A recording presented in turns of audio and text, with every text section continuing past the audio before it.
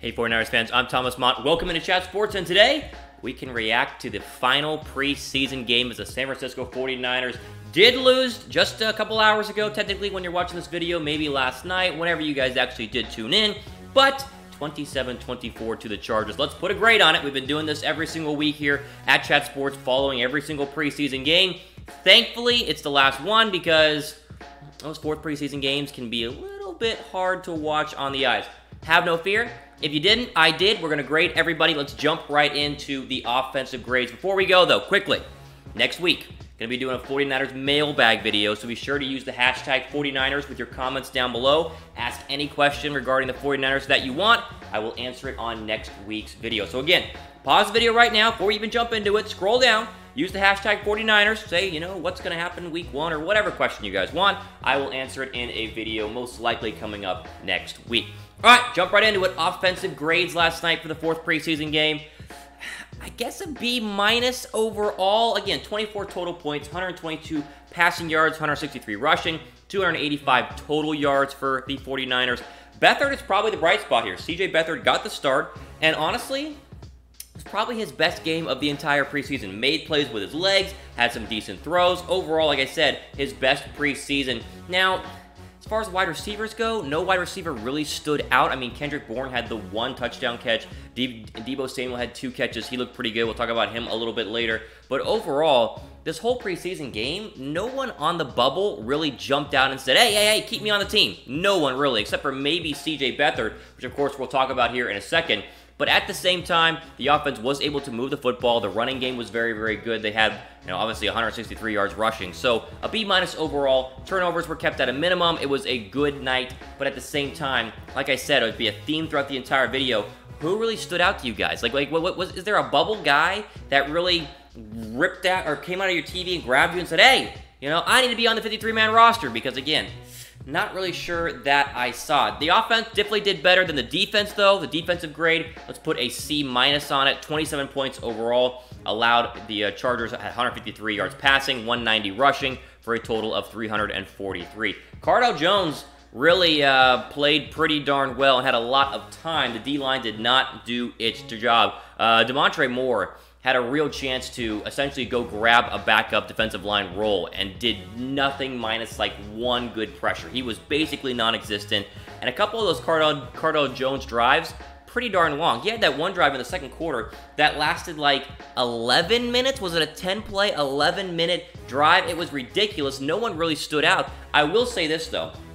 Days after the linebacker Malcolm Smith was cut, Dre Greenlaw got the, got the start tonight. They're obviously trying to give him more reps. And Greenlaw actually, in my opinion, struggled a little bit at the linebacker spot. He got lost in coverage a little bit, gave up a couple of uh, uh, bigger plays due to missed tackles. He's still a work in progress, but if Kyle Shanahan and the 49ers were confident enough to cut the former Super Bowl MVP in Malcolm Smith, then that means they are very confident in what they have right now in Dre Greenlaw. So I'll be I'll just be confident with them, but I'm just saying Against some third stringers, Greenlaw did not exactly look like uh, the star Sam linebacker that we are hoping that he becomes based on his performances in a couple of previous games. Special teams, again, got to do the overall grades first. We'll do, um, I guess, a B+. plus. Nothing really exciting happened in terms of the special teams. DJ Reed had that nice 56-yard kick return. That was a plus. Uh, Robbie Gould was one for one on his 22-yard kick. He made his three extra points. Wishnowsky had some good punts.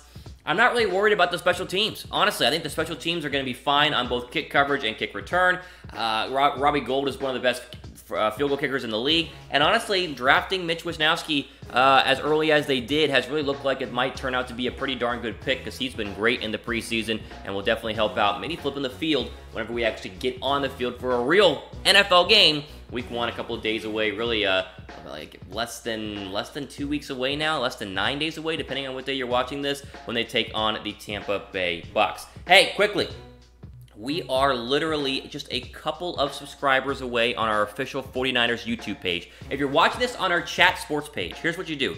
Go up in the Google search bar above me, okay? Most likely Google, right? Don't don't use Bing, use Google. www.chatsports.com forward slash 49ers click the uh, top link, you know, click it, and then it'll take you to the 49ers official YouTube page, the Chat Sports one, I should say. Give it a subscribe. If we get, so what, listen, I gotta explain to you guys.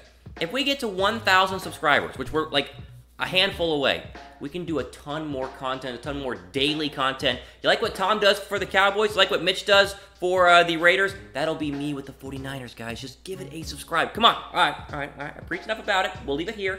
Let's uh, go ahead and jump into our individual grades. And like I said earlier, let's expand more on CJ Beathard. Listen, A minus. It might be his best preseason game of the entire, I guess, of the past four. The touchdown pass to Kendrick Bourne, using the legs, you know, running around, rolling to his right. It was a really darn good throw. And also, how about the block on the 41-yard touchdown run by Jeff Wilson? It was supposed to be a little sweep to the left out of the I formation. Stops, comes back around to the right, and Beathard is hustling out there and trying to get a block, which actually sprung. Really was the key to uh, deciding block in the 41-yard touchdown run. Played with heart, played with gut. I thought he tried to really play his way onto the team.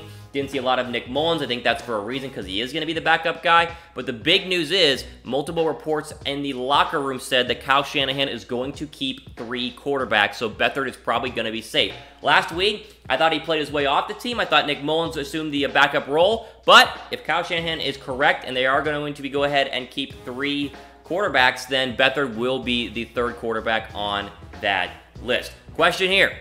Are you guys happy with keeping three quarterbacks? I mean, listen, you can keep three and then trade one if you need to, so that makes sense there. I don't see why anyone would, would be upset about not cutting Beathard. It does take a roster spot away from someone else, but overall, I mean, you guys can leave the comment down below, but I think that all three quarterbacks uh, have earned the right to be on this football team.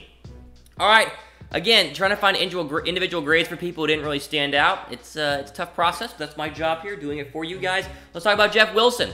Listen, he's going to get a C+, plus, and here's the reason why. He played well on the field last night. 20 carries for 100 yards and a touchdown is a really good night, but was also part of that botched exchange that resulted uh, in the ball being put on the ground. That'll be held against him uh, probably today whenever they are reviewing film. And the big reason why it's a C plus is Kyle Shanahan has said they're not going to keep five running backs. Now I know what's happened to Jerick McKinnon earlier this week with the knee flaming up again, but is that enough to I mean, are they going to put him on IL? They haven't done that yet. Does that open up a roster spot? I still think your four running backs are going to be uh, Coleman, McKinnon, Breida, and Mostert. I think I think that, that makes sense on who the four are going to be. Jeff Wilson might have played his way onto a different uh, roster, might have played his way onto the 49ers practice squad, but again, I just a running back getting 20 carries in the fourth preseason game does not bode well for him actually staying with the team. C plus, the fumble's gonna hurt, but again, it was a lot of positive to watch in terms of the film as you're watching it uh, live on your guys' TVs. He had some good runs and really made for uh, a good night running the football. Next, another guy that might not make the squad, especially after last night, Kendrick Bourne. C, C, uh, let's give him a C plus grade. I said this multiple times on, on this video. No one stood out. If you would have balled out today, if Kendrick Bourne would have had six catches for 89 yards and a touchdown or two touchdowns or whatever, he has a real shot to make the roster. One catch for 21 yards and a touchdown on three targets is really not going to do it. He needed a big night. He did not have it. And like I've said before, I think Jordan Matthews, because well, one, Warren Matthews really didn't play tonight, which is or last night, which was a very good indicator uh, that he's going to make the squad. I think Matthews makes it. I think Bourne is probably going to be the odd man out. Again, maybe practice squad, maybe someone else picks him up because he was a bright spot last year, but he did not do enough last night to really really make a squad that is, uh, is has some openings at wide receiver, even though they drafted a couple of guys. But again, tough night, and I really wished for uh, Kendrick Bourne the best. We'll see if he makes it tomorrow, but depending on when you're watching this video, I don't think that he's going to. Again, last night needed to be big, and it was not. All right, asked this last week. I want to know again, will Kendrick Bourne make the 53-man roster? Not the practice squad, the 53-man roster. Type Y for yes, N for no. Let me know in the comments down below. Another guy who you almost just feel bad for is Adrian Colbert in, in, in, in the secondary. D plus for him. Wasn't on the field at all until he came in on like a goal line situation in the, at the end of the uh, first half. Then started the third, played one play and seemed to kind of retweak that injured hamstring that he's been dealing with and was not seen again. I mean, you got to be out there. And you hate for his final potential preseason game in a Niner uniform to be cut short because of injury. But that's how it works, especially in the safety position where, or nickel, wherever you want to play him. The safety secondary spot has been uh, pretty much shored up. And obviously, Sherman, Witherspoon, Tartt's back there. I think a lot of people uh, are going to agree that Colbert probably did not do enough last night albeit injured, to actually make the roster potentially another cut tomorrow. How about this for a grade? How about health? How about the overall health of the San Francisco 49ers going into week one? They survived preseason pretty darn well. A minus overall for the 49ers. The really the only big injury coming in an actual game was the backup O, o-, o lineman Shon Coleman. But other than that, I mean, yeah, like Nick Bosa's kind of rehabbing, and Jerick McKinnon's knee has flared up, and uh, Jalen Hurd's dealing with the back right now. But these are all precautionary guys being held out. I think if you were looking at, minus McKinnon, um, if you were looking at potentially, you know, postseason games here, I think Bosa could, could potentially be out there based on what I've heard from 49ers camp. But again, uh, people always worried about injuries. You know, four preseason games is a lot, and they were able to get away basically unscathed. They will be pretty much 100%, minus, you know, some things here and there. Maybe not Hurd week one. McKinnon for sure not week one. Bosa's still up in the air. But again, it could have been a lot worse. A minus for the health of the 49ers. And finally, someone I've graded on here before on our San Francisco 49ers, uh, I guess, you know, week four preseason grades is Deebo Samuel. And I just want to get you guys fired up about him because I know that the fan base loves De- Deebo Samuel. Last night, A minus. Two catches last night for 16 yards. Had a great comeback comeback route on the right side from C- from CJ Beathard. But here's the real stat. He has eight total touches this preseason. Six of them have gone for first downs, whether that's end arounds, whether it's across the middle, whether it's a comeback route. He has been a first down machine. I think he's just trying to get as many reps as possible. It's why you saw him in last night, because Kyle Shanahan wants to feature him a lot in this offense. I'm very excited to see what happens against a very below average Tampa Bay Bucks secondary. Let's just say it, you know, exactly how it is. I think he's going to have a big, big year. Would you draft him on your fantasy team?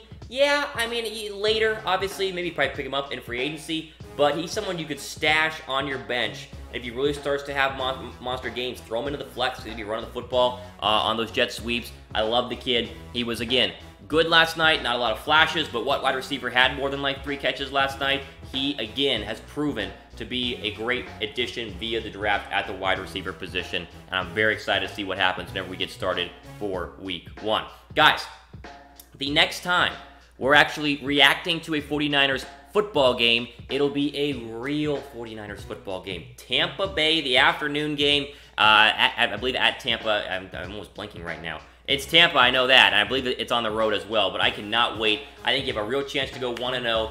Tampa is, I mean, yeah, they have some decent players like Mike Evans, but Jameis Winston, the offensive line is poor, the defense is not that good. They're in a full rebuilding mode underneath the new head coach, Bruce Arians. I think we have a real shot to go 1 and 0. Let me know in the comments down below if you guys are with me. And also, as we wrap this video up, give me your week 3 or week 4 preseason grades against the Chargers. Give me your overall grade for the 49ers last night. You, you like Beathard and uh, Wilson? You give me A plus, maybe a B minus. Again, I, I think a B is safe to say. No one stood out, but no one really messed up. B is fine for me. Let me know what you guys think in the comments down below. And again, be sure to subscribe to our 49ers YouTube channel and leave your comments for our 49ers mailbag that's coming up next week using the hashtag 49ers. Guys, we do a ton of 49ers stuff here at Chat Sports. I'm trying to head all of it, and it always helps with a subscribe and a like down below. But I always appreciate you guys as well because we are cruising through to the start of the regular season. You've been with me through it the entire time. Cannot wait for us to get started. Let's go get a win week one, baby. Let's do it.